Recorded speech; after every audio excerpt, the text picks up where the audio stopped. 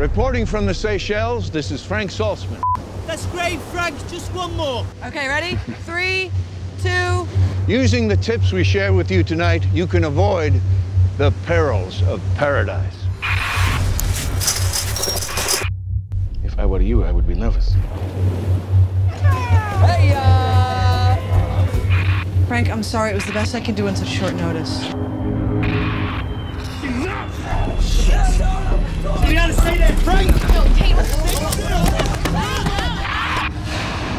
Received this breaking news. Frank Saltzman was apparently hijacked. Do you have any more cameras like this?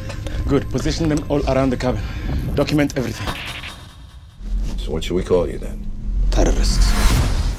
I can't accept this. I were a raving madman threatening to blow up this plane in the name of God, or if I calmly had a gun pointing to your head while waiting to collect my money. Just answer the question.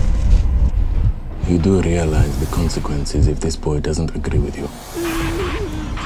You wanted an interview, you've got an interview, answer the question.